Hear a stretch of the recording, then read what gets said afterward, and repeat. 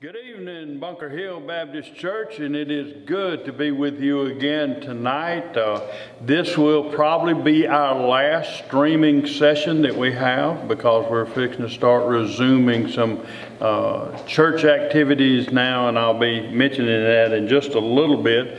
But it has been an ordeal uh, that we've gone through, and we've tried to be as safe as possible. Preventing any kind of spread of it, but I think we're at the point now that where we can properly social distance, uh, wear your mask uh, coming in and going out, and uh, if you're in close proximity of somebody in the sanctuary, uh, please try to wear your mask. Uh, it's not mandatory, but I encourage you to do that uh, for safety's sake. Um, here's our lineup that we're going to be having uh, for church, uh, regular church service will be at 11 a.m. on Sunday morning. Sunday evening, we'll be meeting uh, in the sanctuary at uh, 6 o'clock. Uh, on Wednesday, we'll be meeting here in the fellowship hall. Uh, for a time, there will be no meal, or no children's activities through this month of September uh, to see how everything progresses. We don't want to uh, go too fast, but we don't want to go uh, much slower than where we've gone right now. Um, and then a little reminder that uh, uh, starting September the 20th, uh, we'll begin Children's Church. And uh, at 11 o'clock in the old sanctuary. Uh, they'll be meeting there. There'll be somebody to open the front door to the church, uh, old sanctuary, to get them in. There'll be people there. Uh, we'll practice the same kind of distance with mask and everything. But we want to try to go ahead and get that started. Um, and that'll be on the 20th, and you'll be getting some more information uh, concerning that uh, as the time draws closer to September the 20th. And then on the 20th, the church council will be meeting again to reevaluate how the month of September has been going as far as worship. If we can add other stuff, we will at that time, and hopefully it won't be long before we can open up Sunday school in some manner, in some form. So be praying for us, be praying for the church that uh, um, we can get all get back together and uh, safely worship together. Um, continue to pray for the nominating committee uh, who are working to try to fill teacher slots and other positions in our church as well. Uh, one other note, uh, know we've already had our deacon nominations and uh, should be, be, being installed in September, but we're going to be just a little bit late with that. Uh, but our deacon uh, elections will take place in the morning service of September the 13th. And um, there will be, uh, there's six names on there. You can vote to up to four men. Uh, you can vote for less if that's what you feel like, but no more than four uh, is all you'll be able to uh, vote for. And uh, for those of you who don't feel like you still need to come and you would like to have opportunity to vote, we do have some uh, absentee ballots that you can vote uh, and you can bring them and drop them in the drop box before September the 13th or either you can call me or Will, call the church office, say you've got the ballots and you would like us to come by and pick them up and we'll be glad to do that so we can get a vote and we want everybody uh, in the church uh, uh, that wants to vote to have an opportunity to vote. Uh, so take note of that. And uh, I think that is all the announcements that I need to make at this moment. Uh, need to just remember those who are on our prayer list. Uh, continue to pray for Mr. Fred Harrod as he's going through his cancer treatments and uh, Kenny Carson. Uh, uh, keep praying for him. Miss Marguerite is still in the swing bed. Hopefully she may get come home sometime this week, and I know she's ready to do that. Continue to pray for Ricky Ladner, uh, who has a COVID-19. Also, Miss Marie uh, Brewer in the Grove has COVID-19 as well. And uh, pray for Brother Daryl Daniels' sister, uh, Lisa. Uh, she's being diagnosed with uh, an aggressive form of breast cancer uh, she's having a port put in today, uh, and so please keep her on your prayer list as well. And uh, let's not forget the ones who've lost loved ones. Uh, and those who are suffering right now because of the virus. Uh, continue to pray that God would work uh, and bring an end to this uh, virus and uh, uh, that no one uh, would continue to have to suffer through this any longer than, than God intends for us to. But we know that He's in control and we know that He has a plan. And so we continue to go before His throne and to, to make intercession for these who are sick and for these who have this virus and for our church as a whole. Let us go to our Lord in prayer. Father God, we bow in your presence right now. And Father, we do thank you for the gift of life itself. And Father, to all of the benefits and the blessings that we receive from being your children. Lord, your mercy and your love and your grace is theirs every day for us uh, to enjoy. Every morning that we wake up, Father, you give us uh, uh, new graces for that day, and we thank you for that. Father, we do uh, ask you to forgive us for any sin that we have in our life this evening, and Lord, that uh, you would just uh, continue to bless us, Father, with your love and your mercy. Father, we do pray, uh, especially for these who are on our prayer list, our ongoing prayer list, those who are shut in, and uh, Father, those uh, who have just been sort of locked away at home, Lord, because of this virus. Father, I pray that you administer to them through your Holy Spirit.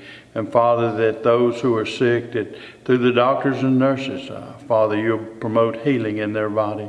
And we'll thank you for that. We do pray, Father, for those who are uh, right now uh, going through some trials because of the death of loved ones. And Father, we pray that you would uh, be there with them and Father, that your Holy Spirit uh, would hold them up and be uh, a comfort to them during this time. Lord, we always want to be sure to pray for this nation of ours. We pray for revival. We pray for our leaders. Uh, Lord, that your wisdom uh, would uh, give them the power to make decisions that would be right for this nation. And Lord, we pray uh, for all of the unspoken requests that I know that are out there right now. And Father, you tell us to just come to your throne of grace in our time of need. And Father, hear our petitions today. And we ask that you bless and Lord, that you hear our prayer as we go through this time of little devotional that we have today. May you strengthen us uh, to be the witnesses that you called us to be. For it's in Christ's name that I pray. Amen.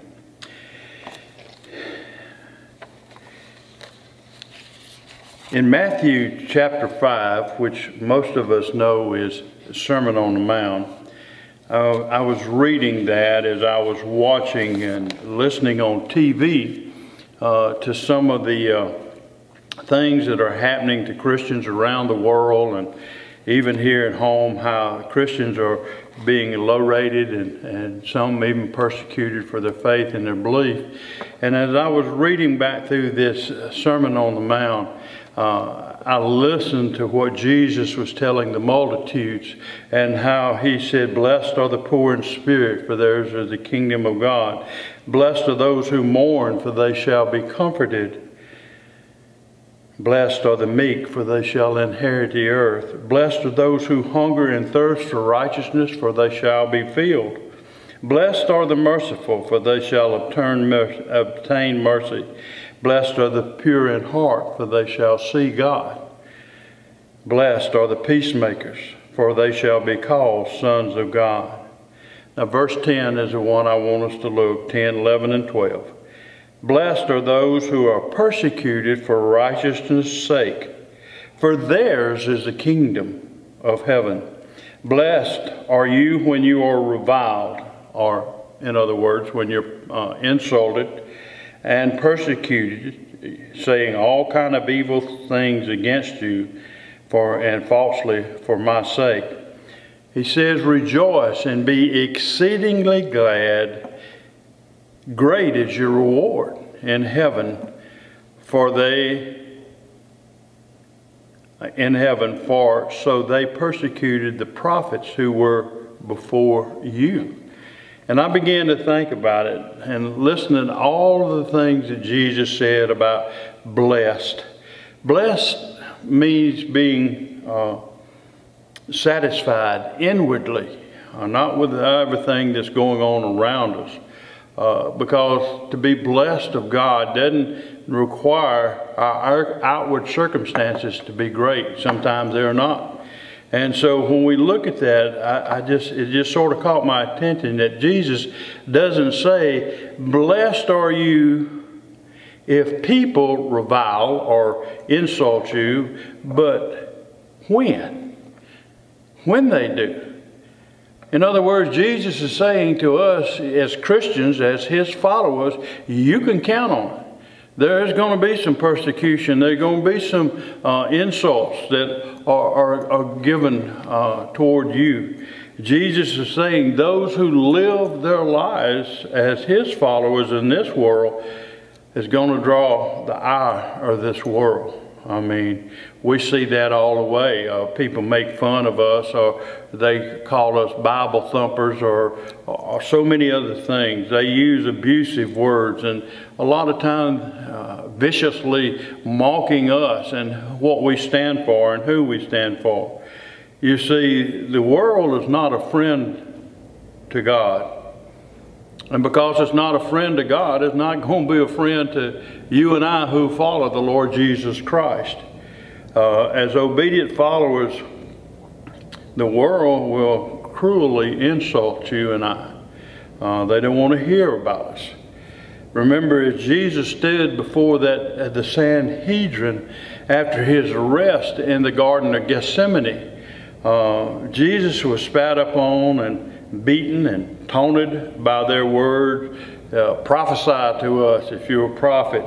Uh, and as he was being sentenced later on uh, uh to crucifixion by Pilate, uh, when I think about that, again, Jesus was severely beaten, he was spit upon, and he was mocked even by the soldiers, uh, the Roman soldiers. You can find that in Mark chapter 15. Why was it? because the life that Jesus lived was an offense to the conscience of those who didn't believe that he was the Messiah. And today, whenever we preach or we share Jesus, uh, the conscience of the world becomes pricked. And uh, there'll always be that struggle uh, between the kingdom of God and the, and the kingdom of men who love darkness more than they love the Lord. Jesus makes it clear that living for Him will bring insults from others. Why?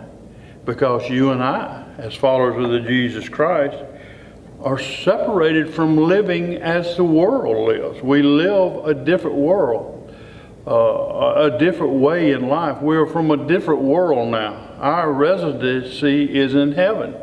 Uh, while we have to live here in this world, uh, we don't live like the world lives. Uh, and so, being faithful to Christ can even cause friends and acquaintances or even loved ones to say some hurtful things or some cutting things uh, to us that are very painful.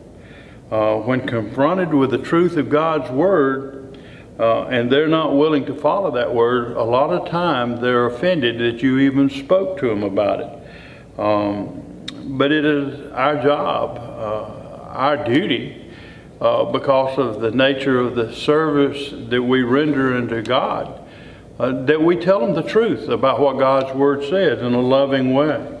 You know, the ungodly or those who are living in sin don't like to have that sin exposed. Uh, they don't. They don't want uh, no God other than themselves telling them what needs to be done. And uh,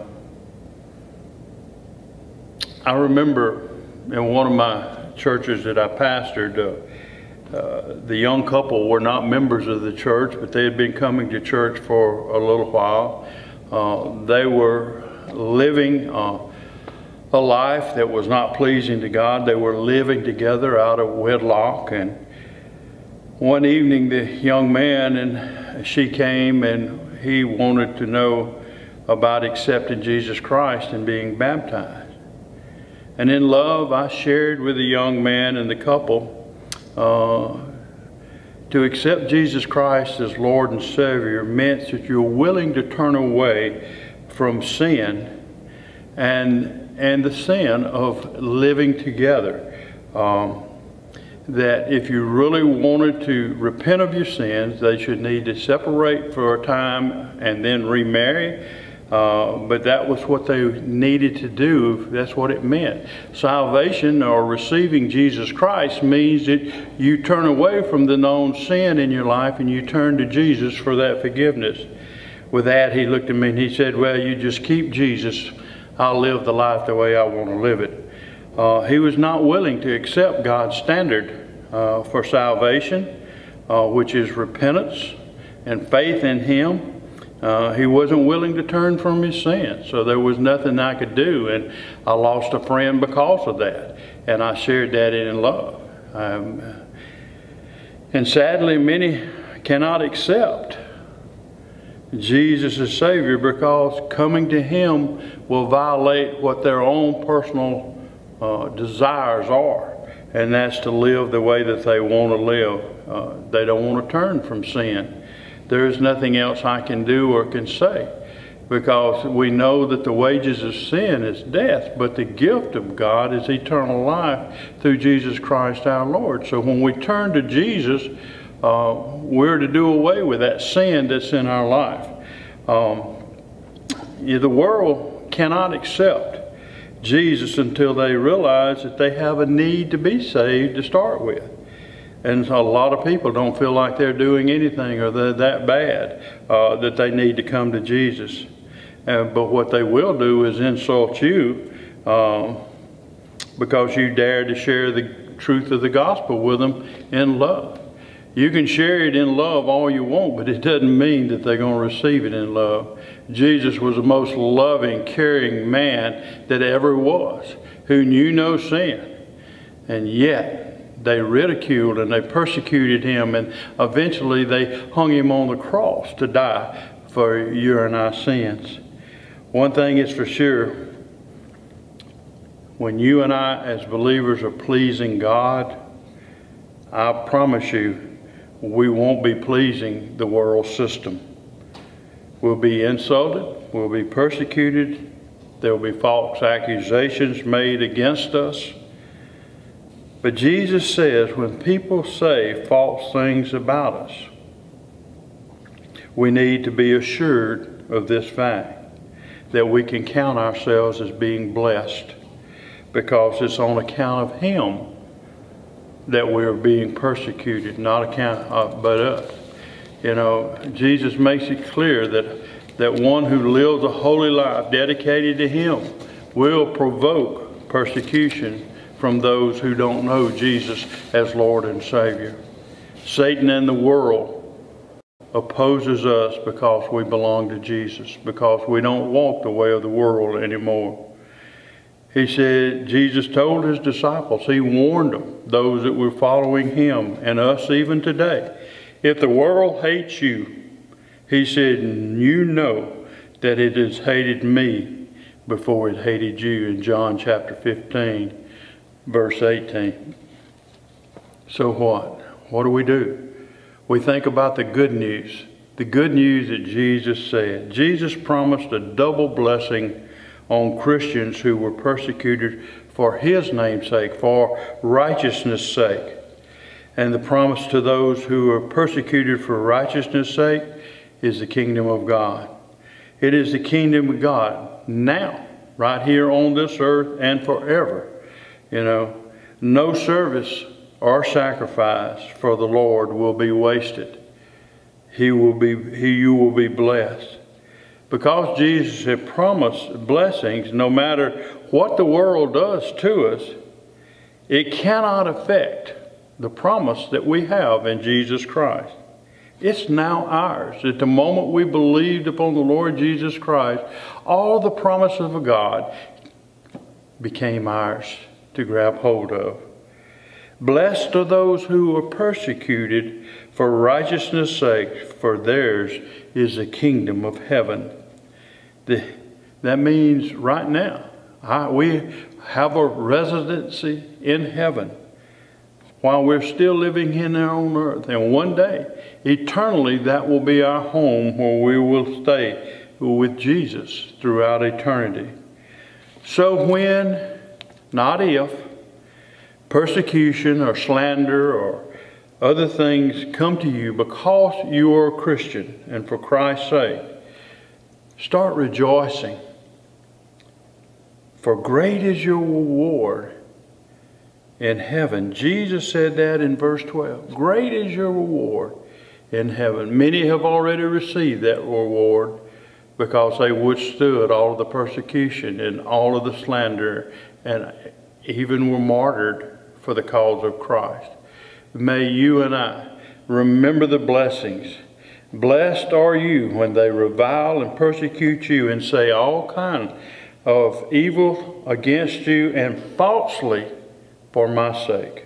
Rejoice and be exceedingly glad, for great is your reward in heaven. For so they persecuted the prophets who were before you. And Jesus went on to say, You are the salt of the earth. But if the salt loses its flavor, how can it be seasoned again? It's good for nothing but to be thrown out and trampled underfoot by man. We are the light of this world. Let your light so shine that they may see your good works and glorify God. And when persecution comes, say, Thank you, Jesus, that I'm being counted worthy enough as your child to be persecuted for your name's sake. May you have a good evening. Look forward to seeing you next Wednesday night right here in our fellowship hall. Let us pray. Father, we thank you for your word. Lord, when we talk about persecution and we talk about uh, false accusations and things that can be against us, Father, help us to realize that when you're for us, no one can be against us. And Father, because people revile us because of who we are, let us remember that they did it to you first. And Father, that should encourage us to be more of a witness to take a stand for what is right, and Lord, according to your word. And Father, you will bless every effort. Nothing will be in vain, nothing to be wasted that we do for your sake and for your kingdom. Bless our church, Father. We bless those who are listening here tonight. Lord, may they be encouraged. May it give them courage to be the witness to a lost and dying world that the, that the world needs to hear regardless of what they say about us. For it's in Christ's name I pray. Amen.